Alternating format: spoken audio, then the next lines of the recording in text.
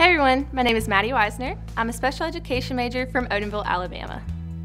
The Student Health Center is located on the South Campus at 1701 Pelham Road South. The hours of operation are Monday through Thursday, 8 a.m. to 4 p.m., and Friday from 8 a.m. to 2 p.m. Walk ins are from 8 a.m. to 11 a.m., and appointments can be made from 1 p.m. to closing time. The Student Health Center does not follow the university holiday schedule and is open during some holiday breaks. The Student Health Center offers primary care, urgent care, women and men's health care, physicals, immunizations, and other services.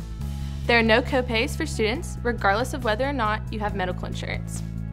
In order to visit the Student Health Center, you will need your student ID, and all students will need to complete the MedProctor form online through your MyJSU.